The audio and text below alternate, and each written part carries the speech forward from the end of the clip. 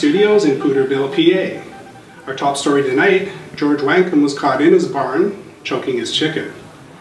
The chicken is suffering from severe neck injuries and is recovering in Pooterville Veterinary Hospital.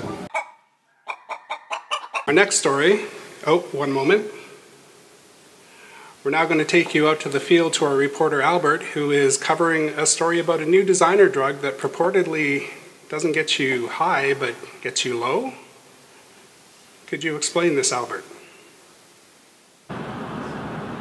Thanks, John. This is Albert for VBMF Studios.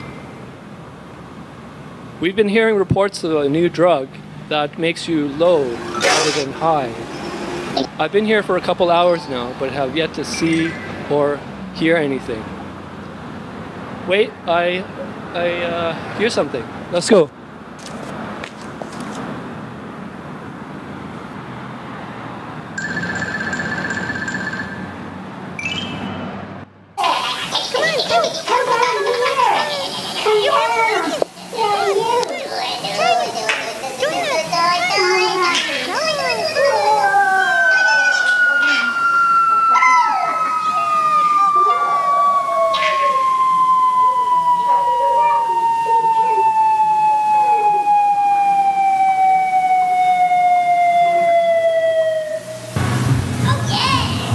Oh.